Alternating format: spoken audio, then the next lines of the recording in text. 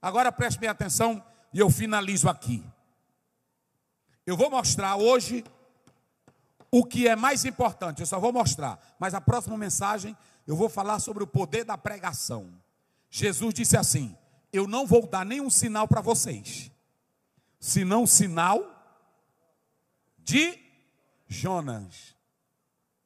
Claro que nós vamos entrar no, quando for falar na pregação, nós vamos entrar no detalhe da questão do horário romano, do horário judaico, e aí essa contagem, se ele passou três dias, conforme a Bíblia diz, nós estaremos falando isso. Mas aqui eu vou finalizar dizendo o seguinte: Jesus disse: Eu não vou dar nenhum sinal para vocês. Vocês não merecem. Vocês não creem em mim. Vocês não acreditam em mim. Agora aqui está uma coisa que eu quero falar aqui para os pastores e para esta igreja. Não substitua a pregação por nada na igreja. Não substitua o púlpito e a Bíblia por nada na igreja. Porque só teve uma cidade que não viu milagre, que não viu coisa poderosa, que não viu os montes se tremerem, mas que ouviu uma mensagem e foi salva. Quem foi? Ouçam bem, igreja. A coisa mais importante para a igreja é isso aqui que te salva.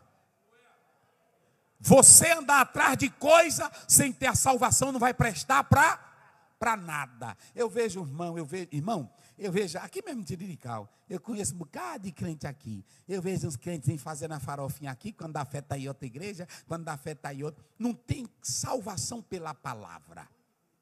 Não sabe o que é mensagem, olhe para cá. Porque se, se Jesus colocou essa palavra, tu já é satisfeito com Cristo, aonde você estiver.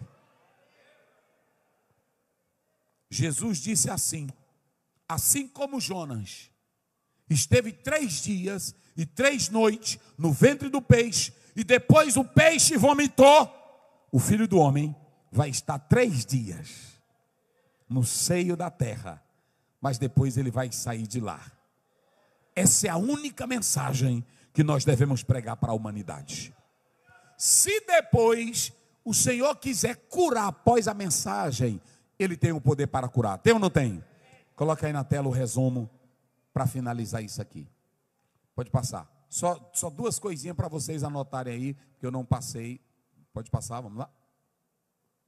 Primeiro, cadê o primeiro? Aí tu já está no segundo. Passou ligeiro. Cadê o primeiro? Muito bem. Olha, crentes que só buscam sinais, desprezam as reais obras de quem? Eles viram as obras que Jesus fez, eles viram os milagres que Jesus realizou, eles viram os sinais, mas eles chamaram de obras de quem? De demônio. Desprezaram. Olha, irmão, crente que só anda em busca de sinal, que anda com o negócio de reteté para cima e para baixo, ele não sabe o Salmo 91 completo, ele não sabe o Salmo 119, ele não tem um versículo para orientar a vida dele. Ele não sabe nem citar João 3 e 16. Porque, olha, ele só gosta de zoada. Quem não conhece a Cristo, quem não busca Ele de verdade, vai desprezar. Porque ele, ele não liga para a palavra, ele não liga para os detalhes da Bíblia, ele não liga. Então está aí, pois na essência a sua, na, na sua natureza, eles não são puros. Como foi que Jesus chamou aquela geração? Geração má. Olha, geração má é uma geração cheia de demônio, é uma geração maléfica, é uma geração adúltera, é uma geração infiel à palavra. Nós estamos hoje, irmãos, diante de uma geração de crentes que estão sendo infiéis à palavra. Tem irmão que chega num culto como esse, ele não traz a Bíblia, ele não fica marcando, ele não fica anotando, ele dorme o culto todinho, todinho. Chega baba. É, todinho. Tem deles que botam até o celular dentro da Bíblia. E, olha, miserável, tu, tu vai, tu tá pensando que tu me engana. Ele bota o celular dentro da Bíblia e tá aqui mexendo. É, vai ter muito.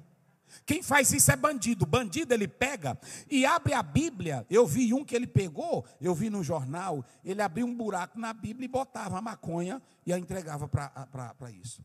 O que, que eu quero dizer? Como é que você é fiel? Jesus chamou aquela geração de geração má e geração que? Adúltera, lá no original é infiel. Como é que eu quero ser crente santo se eu não obedeço isso aqui, meus irmãos?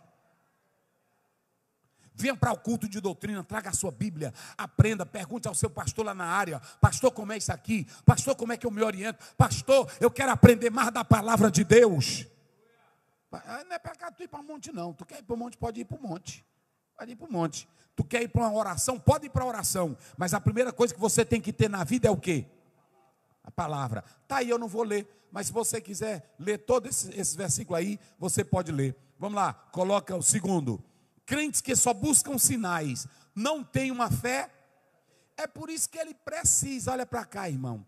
Tem crente que precisa de astros da fé, espetáculo da fé, para ele ser crente. Ele quer um show da fé. Ele quer, e pastor, bota a mão na minha cabeça.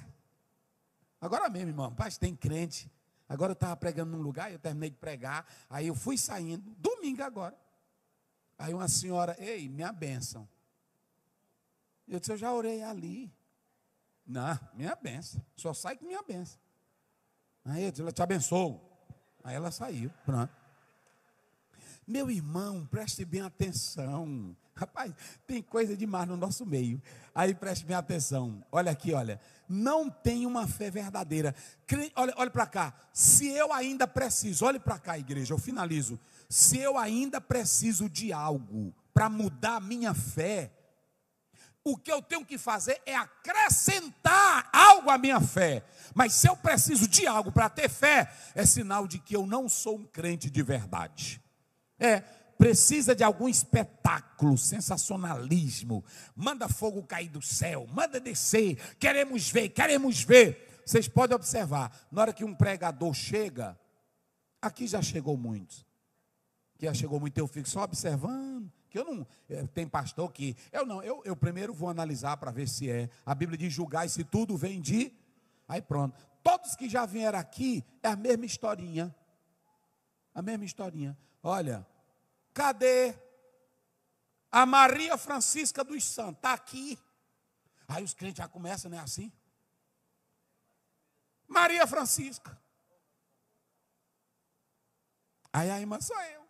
Aquela cirurgia estava marcada. E aí eu vi um fazer isso aqui. E a irmã está do mesmo jeito. Se era de Deus, por que, que ela não foi curada? Agora eu duvido se algum deles chega aqui e diz: Aqui em São Luís, nesse momento, na rua tal, tem um fulano de tal morto. E Deus disse que é para mim ir lá agora e ressuscitar. Nenhum deles fazem.